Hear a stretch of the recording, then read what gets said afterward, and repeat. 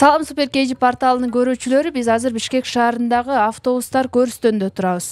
Бул жерде жок эле дегенде жүз элүүдөн ашуун автобус таптакыр жараксыз абалга келген. Бул автобустар качан кайсы жылы алынып келинген? Шаар тургундарына канча жыл кызмат кылды? Жана учурда шаарда канча транспорт калкка кызмат кылууда?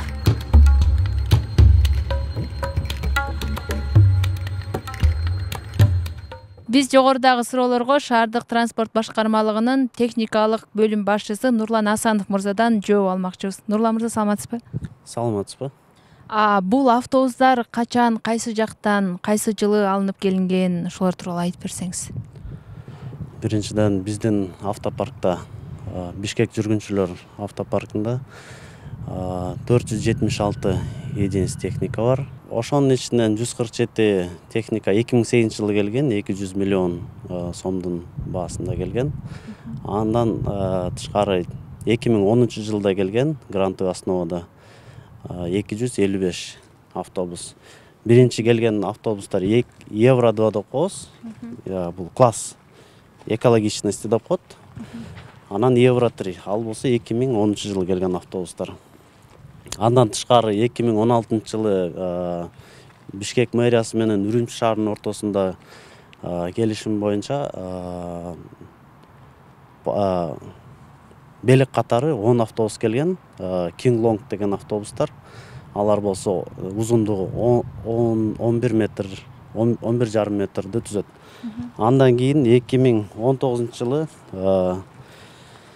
тендер объявление болуп бишкек шаарынын бизден өткөн тендер ал жерде алтымыш автобус газ менен жүрүүчү автобустар келген метан менен метан газ.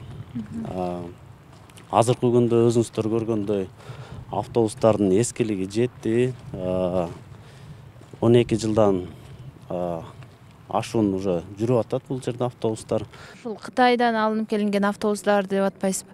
Негизи сапаты жагынан кайсы жактан бизге автобустарды алып келсе жакшы болот? Сапаттуу автобустар. Сапаттуу автобустар. Баардык эле өлкө сапаттуу анан сапатсыз мындай акчаңа жараша чыгарат дегендей бирок биздин кошуна мамлекет кытай элинен деле жаман эмес жакшы. Түп гана жанагы пайдаланууну туура пайдаланыш керек өз убагында майлоо иштерин тартуу иштерин жүргүзүш керек да. Ошодон анан э, мисалы россия деле чыгарат турция деле чыгарат бирок биз ала турган болсок алардын автобустары бир отуз кырк жада калса элүү процентке чейин кымбатыраак болот да баасы. Мисалы турцияда бар мисалы европага кичине жакыныраак десек ал жакта дагы аябай көп автобустар чыгат көп маркадагы бирок баягы эле баасы биздин калктын биздин мындайча айтканда эми мамлекеттин чөнтөгүнө жараша автобустар келе жатабы бизге келип атабы? Эми ал жагын айта албайм бирок ушуга мен да кошулам да.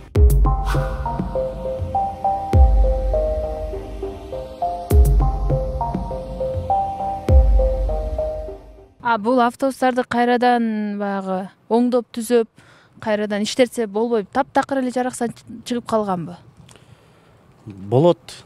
Иштеп оңдоп түзөп чыгарса болот. Бирок булардын дагы пайдалануу мөөнөтү аягына чыгып калды. Себеп дегенде моторлор өзүнүн ресурсун бүтүрдү. Анан ал кыймылдаткычты биз сатып алсак чоң кымбат баада турат кайра эле. Анан колдон келсе жаңы автобустарды эле жаңы экологический мисалы. Электробус газовый газомоторном топливе деп коет газовый автобустарды алсак.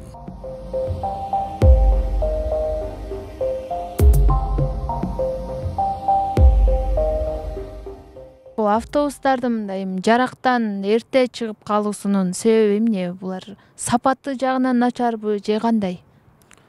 Биринчиден биздин автобустарыбыз таңкы элдер ойгоно электе эртең менен саат беш беш жарымда уже ишин башташат.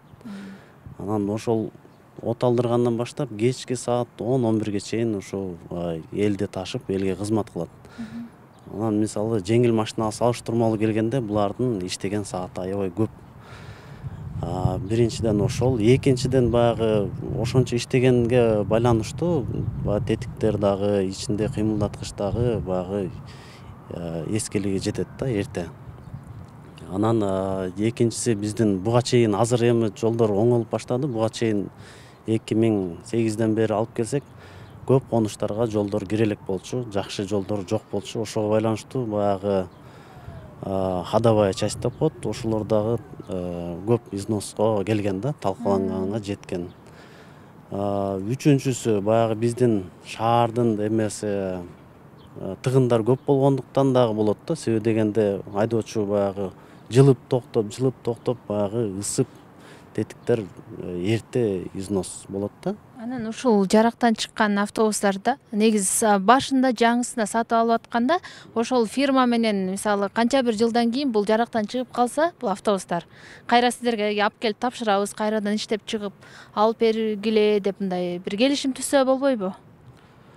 Бүгүнкү күндө биз өзүбүздүн предприятиянын ичинде ремонт жүргүзүлөт андай э, андай иштин бизге кереги деле жок да анткени бизде керектүү слесарыбыз бар специалистибиз бар уже опыт бар бизде өзүбүз иштеп оңдото алабыз таптакыр жарактан чыгып калгандарды дейм да. Таптакыр жарактан чыккан өзүнүн процедурный эмеси бар моменттери жарактан чыкканда актироваться этип через бгк бишкек шаардык кеңеш аркылуу эле чечим чыгат. Ошонун арты менен булар э, списанияга кетет. Э, вторичный приход деп коет экинчи мисалы кабыл алабыз. Бул жерден мисалы керектүү э, терезе эшиктери жанагы детальдары кыймылдаткычы керектүүлөрүн алып калабыз. А кереги жок болсо жанагы путем конкурса бул жерден алып кетишет металлга буларды азыр качан алып кетери белгисиз бүгүнкү күндө биз тараптан иштер баары кылынган уми деп коет мэриянын управлениясы ошол жерде имущество менен э, алектенишет. Ошолор э, бизге макулдугун берсе биз буларды списать этип андан кийин тендер же конкурс объявлять этип буларды бир ишкер бийлигибиз алып туруп анан дальше металлга өткөрөт да.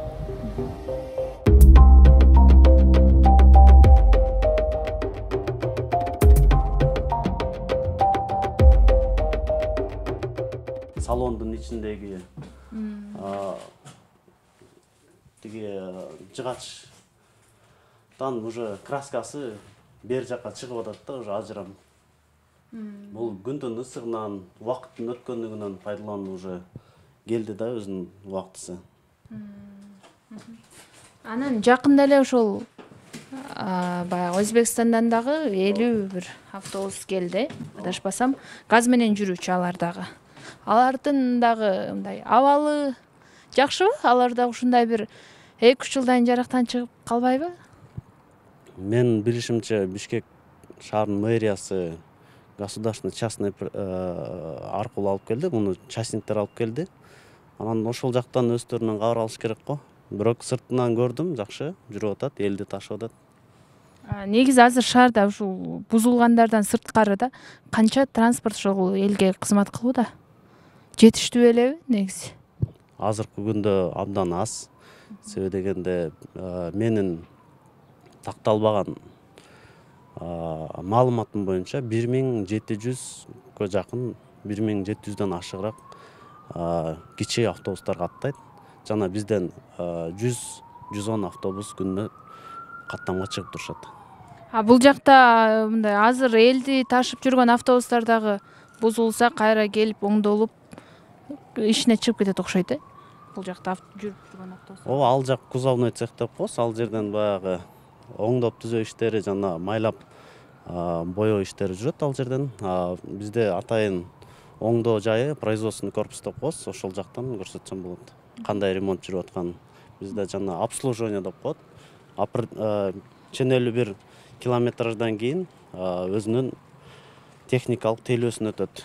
Баяғы майлайбыз э, ремендерді тарттырабыз мотордық майын алмаштырабыз жана башқа иштер.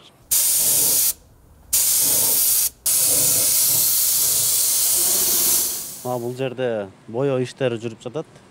Бізде мынакей кузовной цех деп коебуз бул жакта азыр биздин маляр бул жагында пластик өтөт мына өтүп алсаңыз мынакей бул биз оңдосо боло турган автобустарды ушинтип кайрадан оңдоп түзөп кайрадан ишке киргизет экенсиздер да баягы өзүнүн плановый бар сыртында краскасы түшкөндөрдү кайра эле алып кирип плановый киргизип ремонтко берип турабыз бул жерге эки автобустан кирип турат булар бүткөндөн кийин кайра эле план менен кийинки автобустар кирип жасалат булар кайрадан баягы калкты тейлөөгө кетет. Калкты тейлөөгө кетет ооба.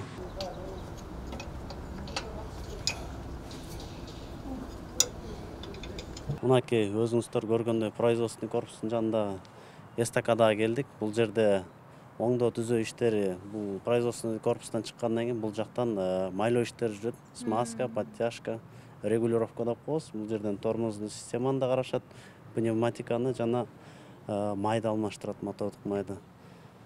Мына бул жакта азыр иш жүрүп атат. Биздин слесарыбыз бешинчи разряддагы слесарыбыз иштеп атат. Бул жерде дядя жүр подушки да?